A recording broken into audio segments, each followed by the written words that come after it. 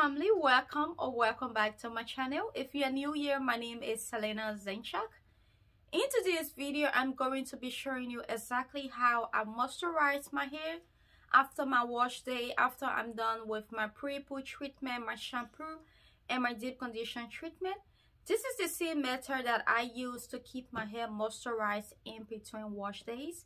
Now, I'm using all ingredients that I created and these are ingredients that you don't wash out, you leave it on your hair. Coming from my leave-in treatment, my oils, and my butters. I already made these videos and it's on my channel. But some of you guys were asking how to use it. Do you wash it out? Do you leave it in? So these are the ingredients I'm going to be demonstrating for you to see. They are not meant to be washed out except if you want to use it as a treatment with all of these powerful ingredients in it that would just be wasting these treatments. So the first thing i'm going to be sh showing you guys is my DHT blocker tea. I already showed you how to make this tea and then i have that video on my channel i will leave it down in the description box for you. And yes i'm getting very good at leaving videos down in the description box for you guys. In a video i talk about in the video. I now take my time and go and leave it down in the description box for you. So if you want to see how i made this amazing DHT blocker tea I will leave it down for you. Now, this tea is very important if you are suffering from hair loss, if you are trying to reverse your alopecia, if you're having bald spot thinning in your crown area. This is something that you should give a try along with a powerful growth oil. In that video, I recommended that you use it with my S Secrets growth oil and my caffeine growth oil but if you have your own oil that you believe in and you trust in you can also use it learn how to make it for yourself and use it. Now the next thing i will be using is my s secrets growth oil. Now this is the only growth oil that i use on sonia here. I haven't taken the time to really explain how to use this growth oil because i got many questions from you guys also from my website. So i plan on making a dedicated video but if you are familiar with my channel you have seen how I use it. I use it as a leave-in treatment. It can be used as a pre-poo treatment, a hot oil treatment. It can also be used if you just want to just stimulate that growth on your hair and leave it on for some hours and then after you wash it out. Now, I started using this oil on my daughter when she was about five months, six months. So it can also be used on kids. So it can be used on male and female children. It's safe enough to use on everyone and all hair types. Even if you go on the website, you will see exactly how to use it according to your hair type. For type 3 and type 4, you can leave it in because our curls are heavy. Now, if you have type 1 or type 2 here, it will weigh your hair down. So I would recommend that you use it in a hot oil treatment or a pre-poo treatment and wash it out. This is how I'm going to be demonstrating it on my husband hair as well because he Caucasian and he started using it also a lot and he love it. So that's it. Oops. Now the next thing I will be using is my magnesium butter. You can use this butter as a deep condition and also as a leave-in treatment. Now, for me, I love to use it as a leave-in butter because I already have a lot of deep condition treatment on my channel and I prefer to use those as deep condition treatment and use this as my butter, my leave-in butter. And then I even have an extra one because I recently made more because I use this on Sonia's hair, I use it on my hair and also Aurora here.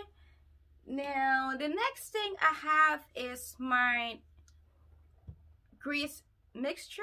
I also have a video on how I mix this grease. Now, I know many people have problem with using grease on your hair and your scalp.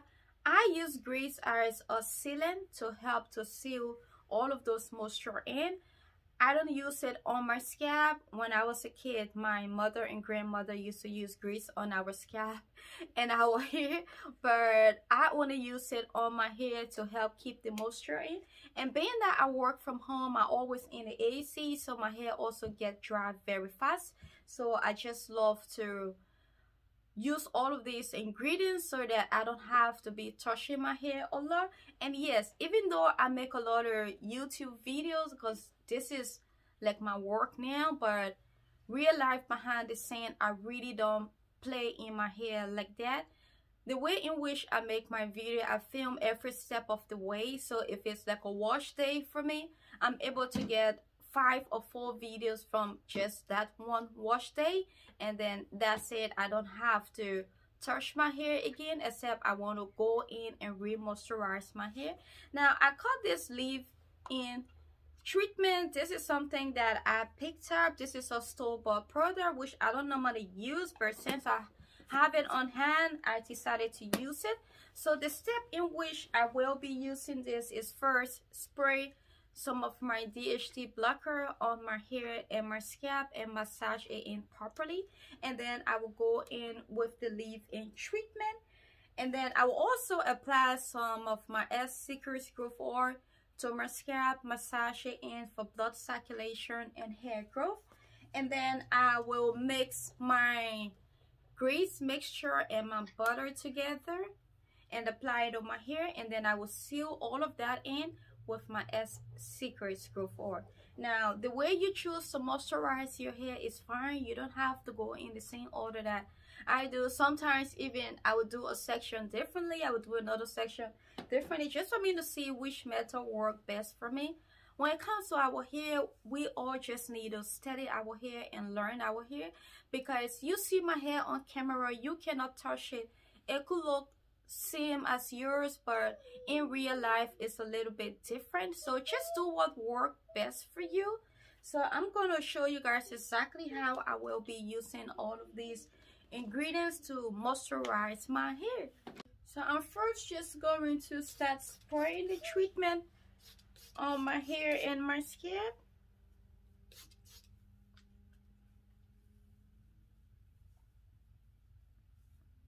So I'm going to apply the treatment in smaller sections on my scalp.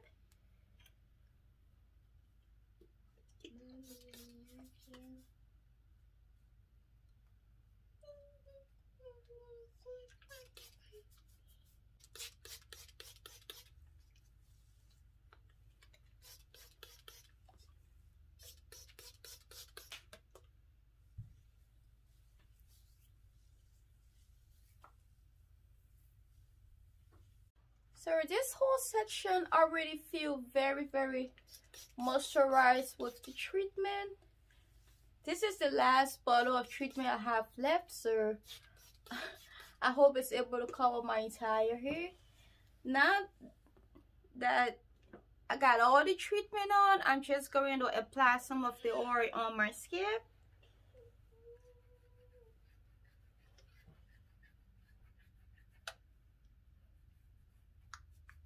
And also massage that in.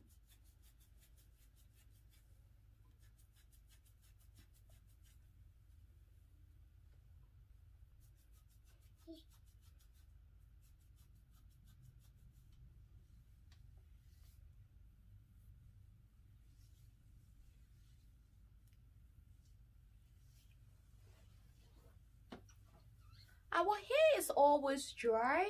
You just need to find a way or create a moisturizing routine for your hair to keep it moisturized? Because even if you moisturize your hair today the type of hair that we have after a few days it's going to feel as if to say you haven't done anything to it at all. I'm now just going to go in with little bit of the leave-in treatment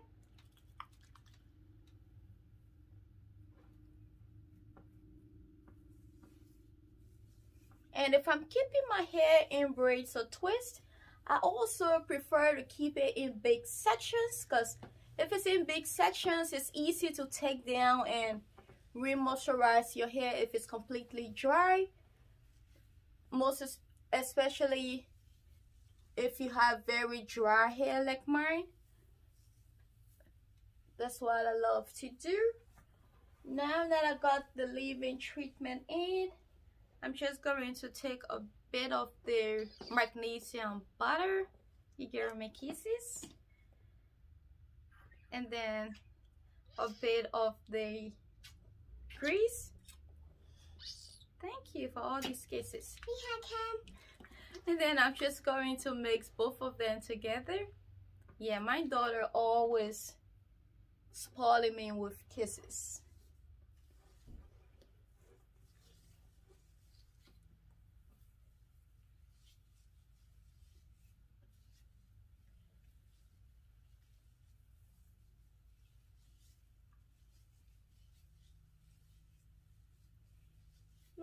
I think I stuck. You stuck where? Over here. And then I'm going to seal all of those moisture in with a bit of the S Secrets Growth Oil.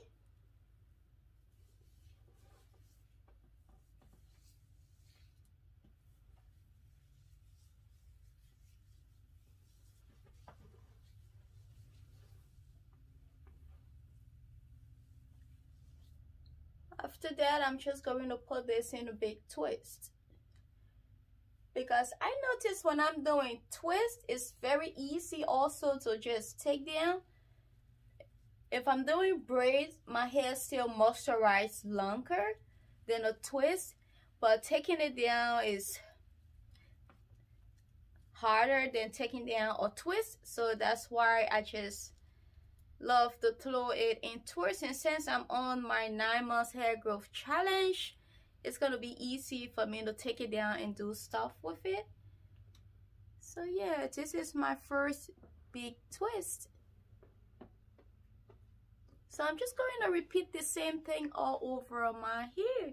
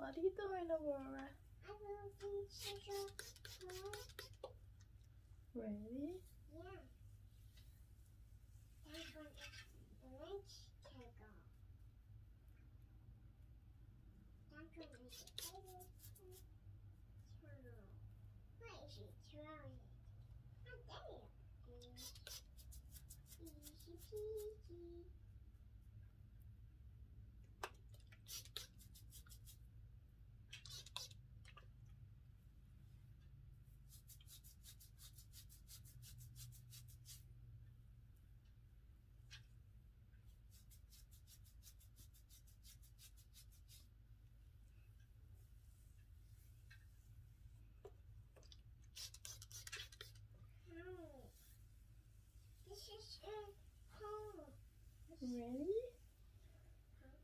Here.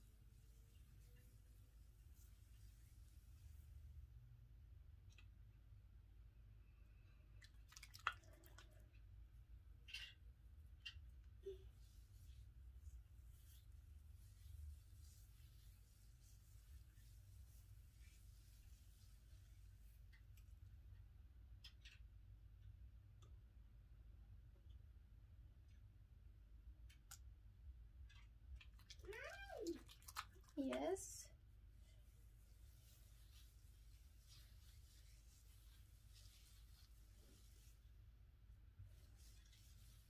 Look what I make in a house. That's so pretty. Hmm?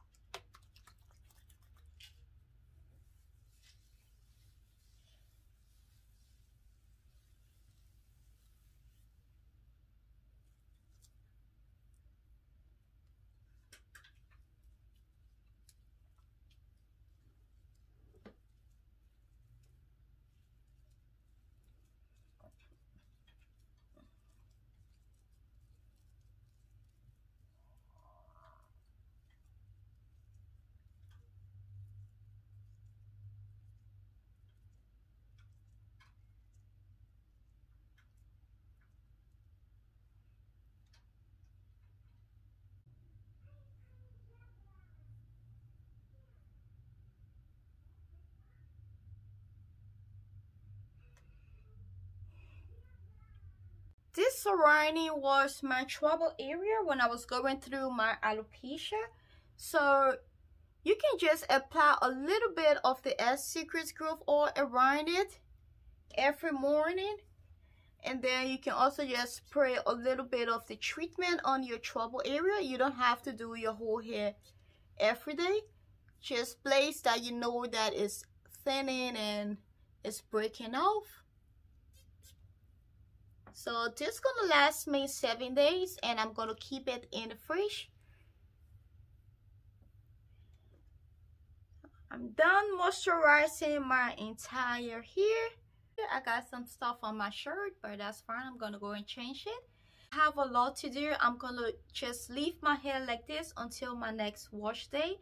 Sometimes when I'm less busy and I see that my hair is very dry, after three or four days, I will go back in and then just repeat the same thing, re-moisturize it and throw it in braids or twists. Now, when it comes to our type 4 hair, please do not have in mind that once you have moisturized it like this, you can leave it for months or for weeks without going back in to moisturize it. That's wrong. With this type of hair, it gets dry within one or two days. So, especially if you are wearing it out. Now, I also have some daily treatment that you can spray on your hair every day if you are wearing your hair out. I will leave some of those videos down below. Even this treatment, you can use it as a daily sprays. So just make sure that you are keeping your hair moisturized if you don't want any dryness and breakage on your hair. So for me, being that I'm very busy, I'm gonna leave my hair like this until my next wash day, which is after seven days. And then after, I will just repeat the same thing that I do with my hair. So i hope all of you guys are doing well with the challenge. I hope you are keeping up with your regular washes and your deep conditioner and your pre-poo treatment. And you are also keeping your hair moisturized. So if you love this video please do not forget to give me a like leave a comment down below and subscribe and i will see you in my next video. Bye bye